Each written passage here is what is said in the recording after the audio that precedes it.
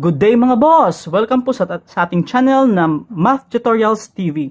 Sa ating video, we are going to discuss multiplying numbers faster than a calculator. So I will show you the technique on how to multiply numbers in a faster way. So are you ready? Let us start!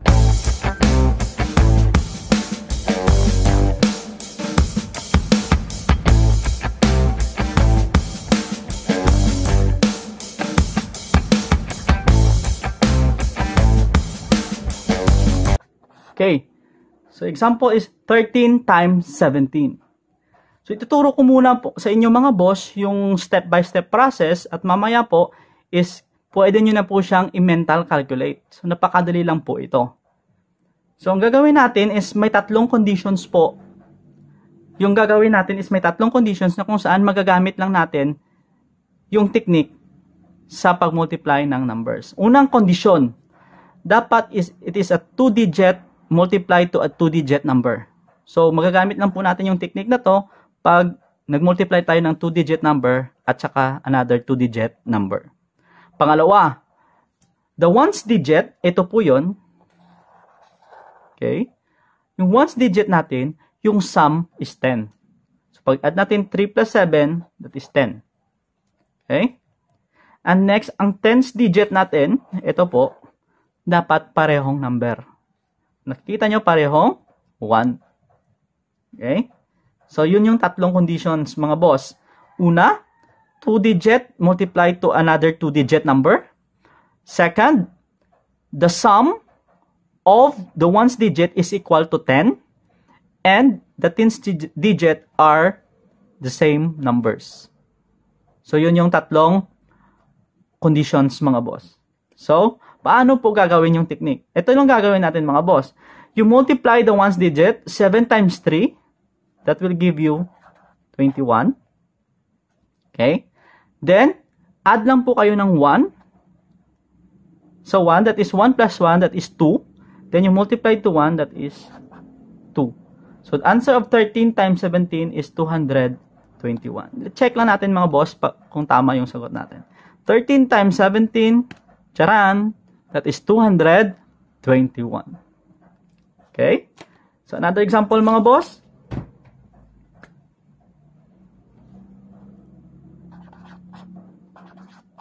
Okay. Meron po tayong 31 times 39 mga boss. I-check lang natin kung pasok sa tatlong conditions natin. Una, 2 by 2 by 2 digit ba? Check. Yung ones digit ba, yung sum is 10?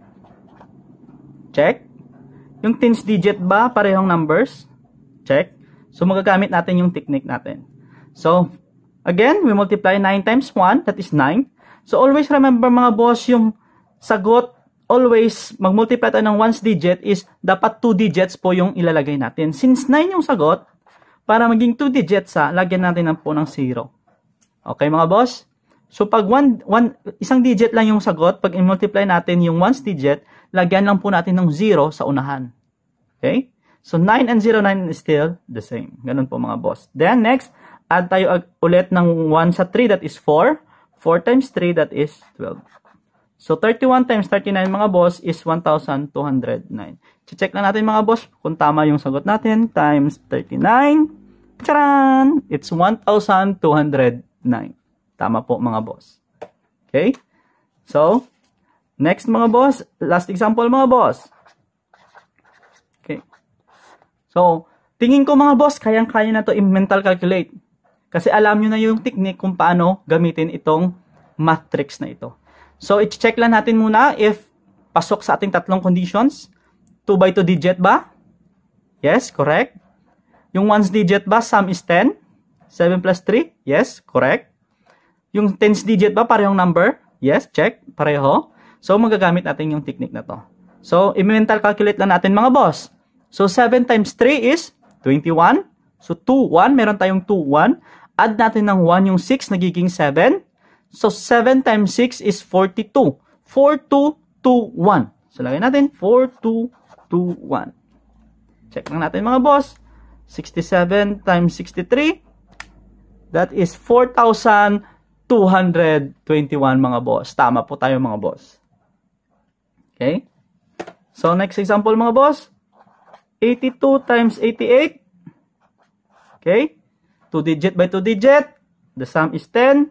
Parehong numbers. So, mental calculate na natin agad. 8 times 2, that is 16. Add 1 to 8, that is 9. 9 times 8, 72. 7216. Okay? So, check lang natin mga boss.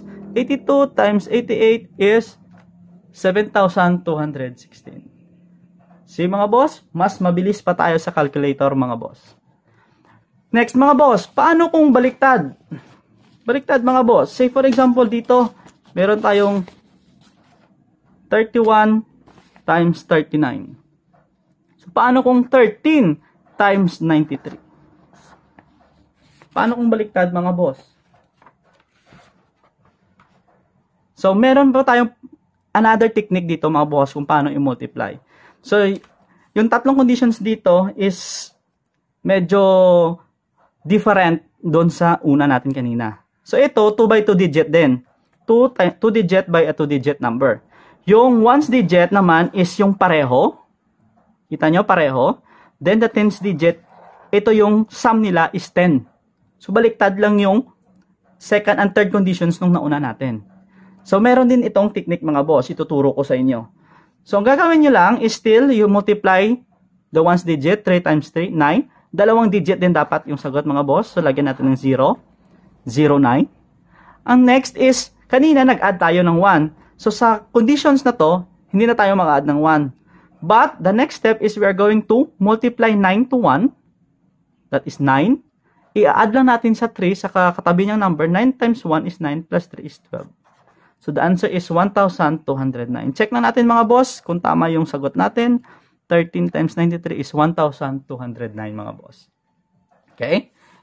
Another example mga boss, we have 64 times 44. Okay, check lang natin mga boss, pasok sa ating conditions. Once digit pareho, check. Tens di the tens digit, sum nila is 10, check. 2 digit by 2 digit number? Check. So, pwede. So, ang gagawin natin ulit mga boss, multiply natin 4 times 4, 16. So, no need na lagyan ng 0 mga boss kasi dalawang digits yung sagot. Next, multiply 4 by 6.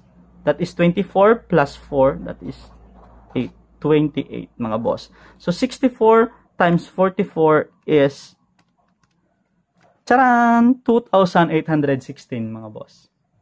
Okay? So, try natin mental calculate mga boss. Ito try natin. So, let's check 75 times 35 mga boss. So, once digit pareho, sum of 10. Then, 2 digit by a 2 digit.